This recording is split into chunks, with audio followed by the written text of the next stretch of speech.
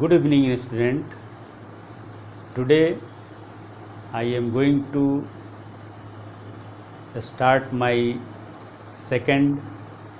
video lecture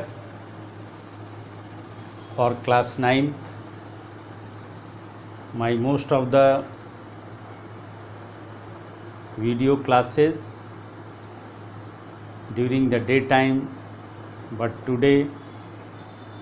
video class is our is in evening time so our today video lecture is second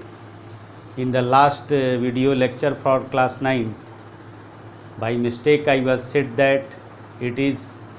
14th lecture but it is not our uh, that lecture is first lecture for the third chapter atom and molecule and today is our second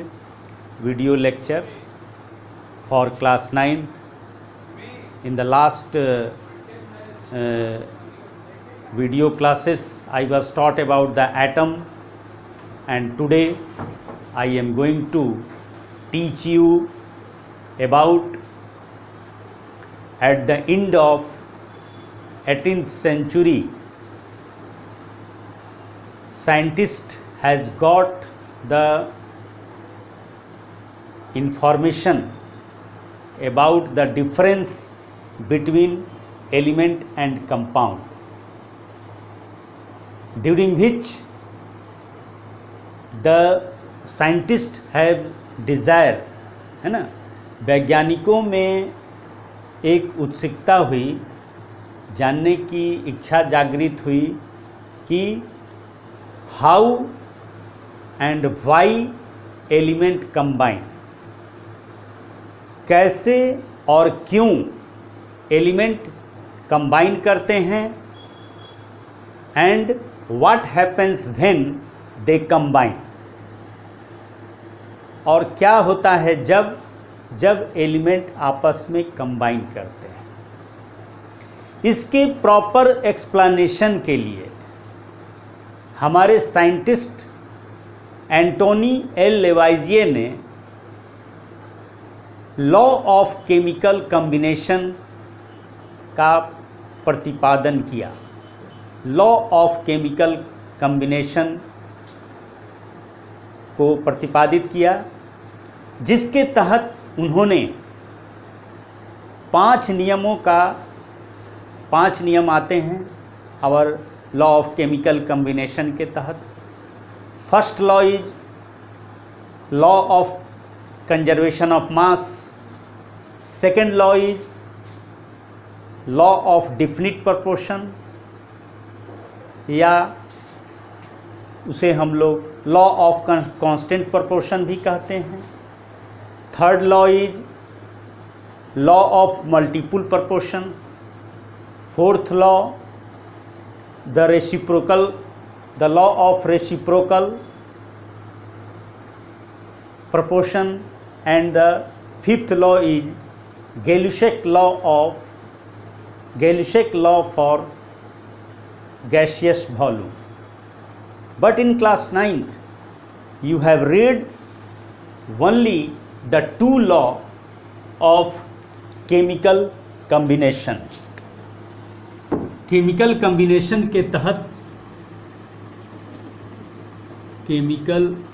combination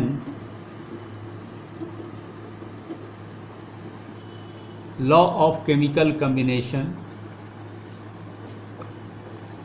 law of chemical combination के तहत class ninth में केवल दो ही law के बारे में पढ़ना है first law of conservation of mass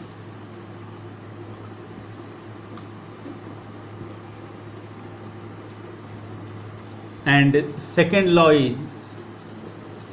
law of definite proportion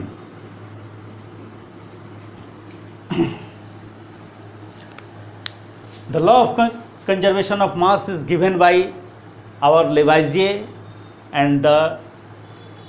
law of definite proportion is given by the our scientist Proust what is law of conservation of mass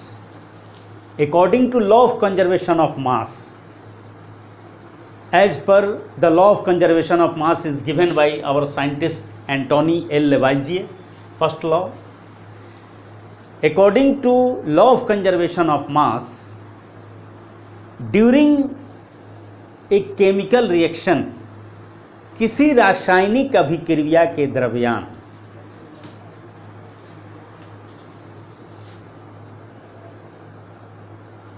Can mass neither be created nor destroyed? It means we can describe the law of conservation of mass in another way. Total mass of reactant is always equal to the total mass of the product that is the law of conservation of mass for the law of conservation of mass there is a experimental verification which will prove जो कि प्रमाणित करेगा कि during chemical reaction reactant का total mass product के total mass के बराबर होता है इसे प्रमाणित करने के लिए हम लोग एक्सपेरिमेंटल वेरिफिकेशन करेंगे जिसके तहत यहाँ पर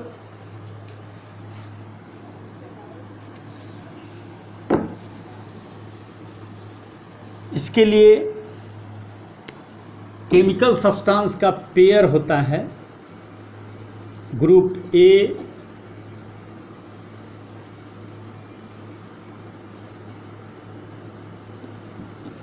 and group B copper sulphate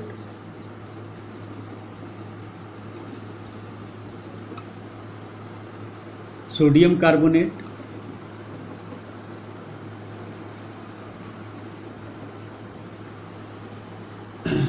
barium chloride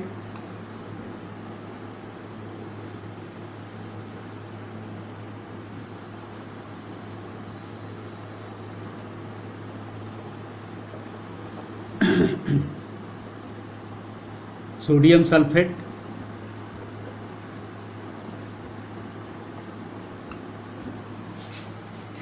law of conservation of mass को प्रमाणित करने हेतु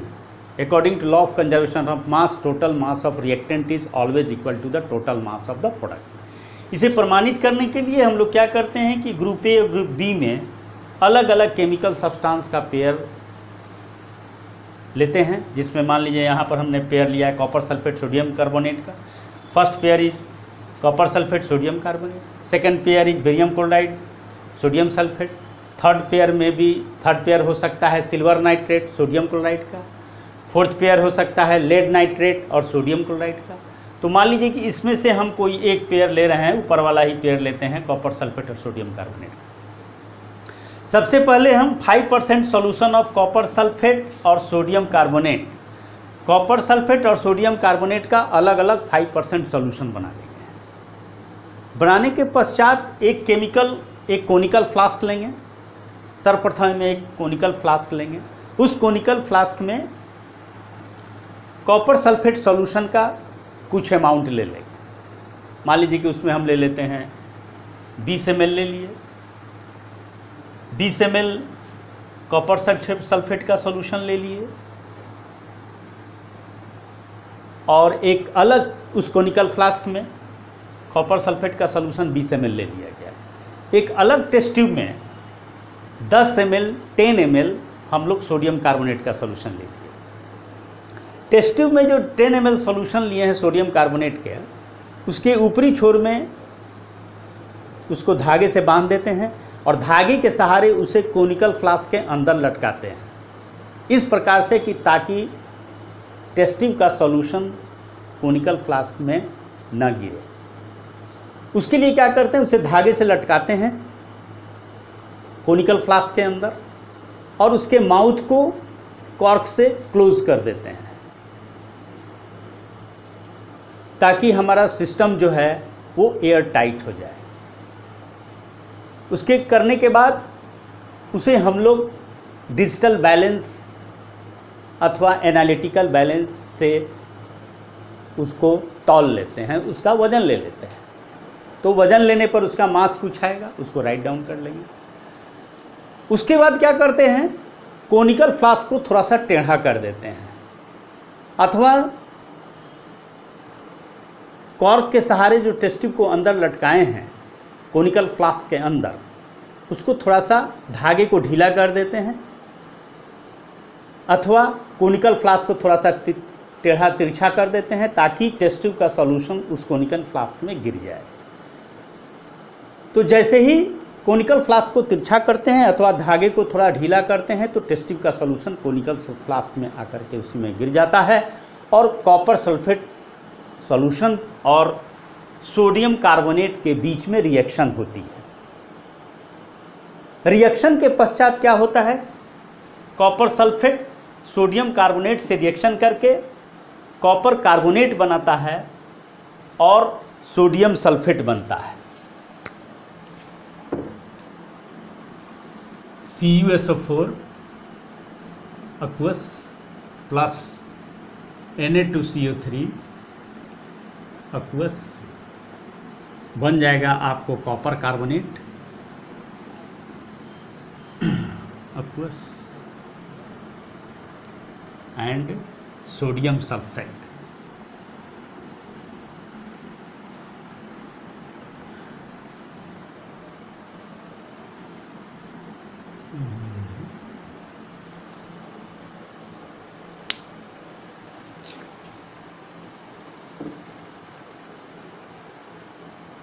copper sulfate reacts with sodium carbonate to give copper carbonate and sodium sulphate इस रिएक्शन के पश्चात जब रिएक्शन केमिकल रिएक्शन फिनिश हो जाएगा तो केमिकल रिएक्शन के समाप्ति के पश्चात पुनः उस कोनिकल फ्लास्क का हम लोग वजन लेते हैं उसी एनालिटिकल बैलेंस या डिजिटल डिजिटल बैलेंस के ऊपर तो जब वजन लेते हैं तो हम देखते हैं कि वही मास आता है वही वजन उस डिजिटल बैलेंस अथवा एनालिटिकल बैलेंस पर आता है जो रिएक्शन के पूर्व मास था तो यहाँ पर यह प्रमाणित हो रहा है कि इस अभिक्रिया से law of conservation of mass प्रमाणित होता है कि रिएक्टेंट के पहले जो कुल मास था aqueous solution of sodium aqua solution of copper sulphate और aqueous solution of sodium carbonate का जो मास था रिएक्शन के पहले रिएक्शन के पश्चात जो कॉपर कार्बोनेट और सोडियम सल्फेट बनता है उस के बाद भी वही वज़न आया उस मतलब इसका भी प्रोडक्ट का मास रिएक्शन के पश्चात कॉपर कार्बोनेट और सोडियम सल्फेट बनता है इसका भी मास वही आया तोलने के पश्चात जो वजन रिएक्शन के पूर्व रिएक्टेंट पार्ट का हम लोग वजन लिए थे इस रिएक्शन के आधार पर इस एक्सपेरिमेंटल एक्टिविटी के आधार पर यह प्रमाणित होता है कि लॉ ऑफ के law of conservation of mass सत्य है अर्थात total mass of product must be equal to the total mass of the reactant that experimental verification justify the law of conservation of mass in the next video classes i was taught about uh, the second law law of definite proportion thank you धन्यवाद